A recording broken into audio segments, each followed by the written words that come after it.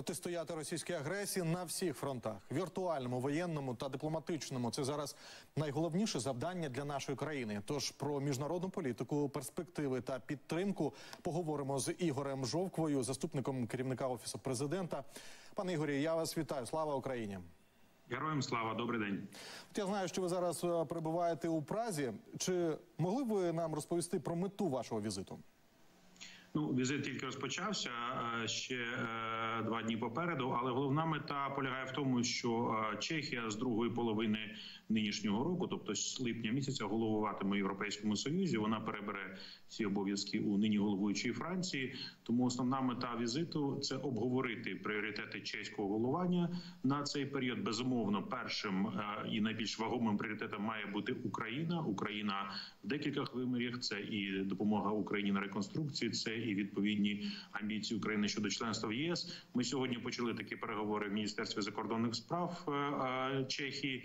Відбудуться відповідні зустрічі із профільним міністром з питань Європейського союзу і інші зустрічі, де ми обговоримо е, конкретні кроки. І другою важливою метою, яку Чехія також може нам допомогти, це надання статусу країни кандидата Україні вже під час найближчого саміту Європейської ради. Чехія підтримує Україну цьому питанні. Чехія виступає за цей е, крок. Е, Важливо, щоб Чехія також співпрацювала з іншими країнами-членами Європейського союзу, які ще досі вагаються. Пане Ігоре, от е, Володимир Зеленський вкотре наголосив, що готовий зустрітися із Путіним. Щоправда, от ультимат, ультиматуми е, нас не влаштовують. В Росії теж запевнили, що не проти такої зустрічі, однак е, за умови ретельної підготовки до неї. Про ці перемови і говорили на початку війни. Однак зустріч і досі не відбулася. Чи насправді вона настільки важлива, чи може вона все таки відбутися, і чого очікувати від Путіна?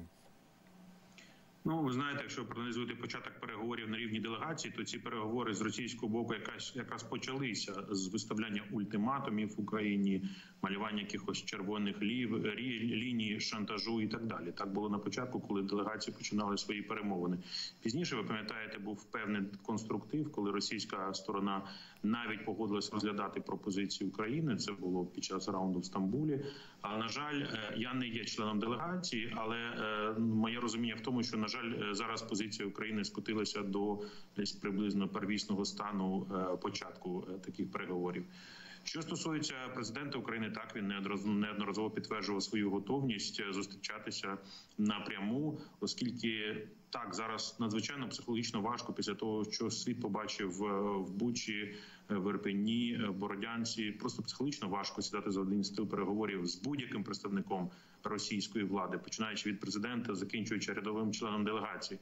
Але якщо це потрібно для е, миру, то це необхідно робити. Єдине, що дійсно немає абсолютно ніякої готовності російської сторони. Якщо ти готовий до переговорів, ти сідаєш за стіл і говориш.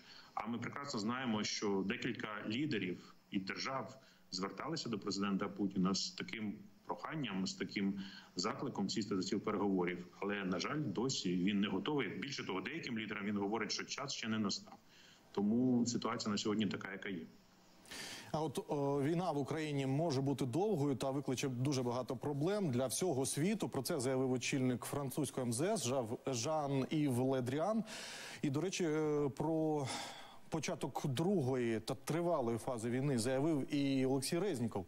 А як ви можете прокоментувати ці е, заяви? І чи готова Україна до тривалої боротьби?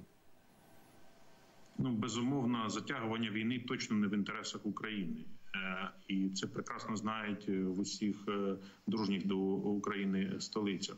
Що стосується початку другої фази, так ми розуміємо, що почалася інша фаза, і те, що ми називаємо битва за Донбас, вона важлива е, надзвичайно і важливо її виграти для того, щоб наблизитись до перемоги. Тому безумовно.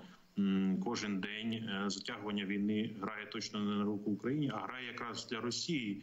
Якщо повертатись до переговорів, про які ви запитували, то дійсно можливо Росія все ще сподівається отримати бодай якісь перемоги на фронті для того, щоб е, якимось чином посилити, як вони думають, свої позиції, але їм точно цього не вдасться зробити.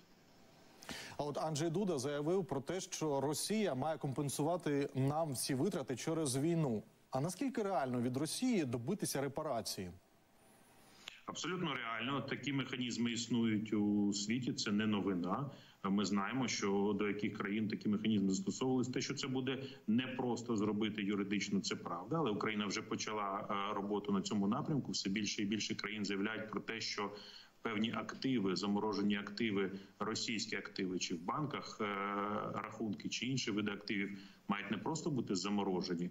А мають бути використані на відновлення України. Це складна копітка робота, яка в деяких країнах чи в більшості країнах вимагає від прийняття відповідних законодавчих актів. І ми знаємо, що певні країни, такі, наприклад, як Сполучені Штати Америки чи Канада, вже схвалили такі акти. Решта працюють над цим. Безумовно, Україна зацікавлена в такому розвитку подій. А і ми вдячні е, пану президенту Дуді, який також е, говорить про це питання цілком предметно.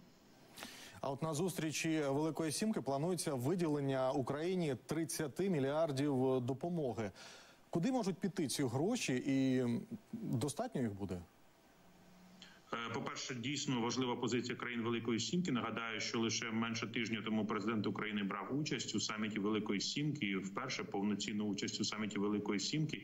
І в підсумковій заяві саміту Великої Сімки було сказано про те, що е, Велика Сімка буде допомагати. Було сказано про два е, механізми такої допомоги. Це Трастовий фонд солідарності Європейського союзу і спеціальний окремий рахунок відкритий міжнародним валютним фондом для е, акумуляції такої допомоги. Безумовно, 30 мільярдів євро на даному.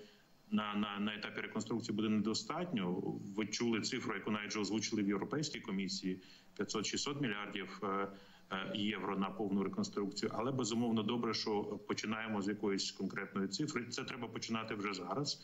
Е, Крім того, важливо говорити про необхідність підтримання е, платіжної системи України для того, щоб не відбувся колапс. Тому безумовно такі ініціативи лише вітаються.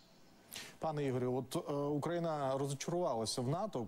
Про це заявив посол ЄС Україні е, Матті Масікас. Е, і за його словами, керівництву країни доводиться домовлятися про гарантії безпеки з іншими країнами, які, до речі, теж входять в альянс. Е, як ви думаєте, наскільки реально після е, закінчення війни Україні вступити все таки в НАТО? Дивіться, тут позиція України не змінилася. Ви чудово пам'ятаєте е, неодноразові заяви президента України про те, що найкращою гарантією безпеки України могло б стати членство в НАТО, і ця позиція вона абсолютно справедлива. Але якщо такі гарантії безпеки на сьогоднішній день Україні не надають, то безумовно президент України е, залучений е, до інших способів надання такої безпеки. Дійсно, президент України проводить переговори з лідерами певних країн на сьогоднішній день. Керівник офісу президента України Андрій Єрмак проводить переговори зі своїми відповідниками, зрадниками спеціальної національної безпеки і е, відповідних лідерів. Ми говоримо про те, що після нашої перемоги Україна, так само як і весь європейський континент, має мати надійні системи гарантій безпеки. Інакше така ситуація може повторитися. Тому е, ми потребуємо гарантій, так само як потребує гарантій весь європейський континент. Які вони будуть ці гарантії? Ну побачимо. Е, все залежить від розвитку ситуації, але безумовно Україна вже не має бути такою незахищеною, як це було до початку відкритої російської агресії в цьому році. І от щодо інших гарантій безпеки, Україна звернулася до Китаю з такою пропозицією, щоб Китай виступив гарантом. А як ви думаєте, чи погодиться на це Пекін, і е, чи можна бути впевненими в їх гарантіях? Ну дійсно Україна звернулася е, до Китаю, так само і до інших країн. Е, різні є відповіді на сьогоднішній день. Мені невідомо про офіційну відповідь від китайської сторони щодо можливості приєднання до переліку країн гаранторів безпеки України. Пане Ігорю, дякую, що ви знайшли час долучитися до нашого марафону. Це був Ігор Жовква, заступник керівника офісу президента України. Дякую.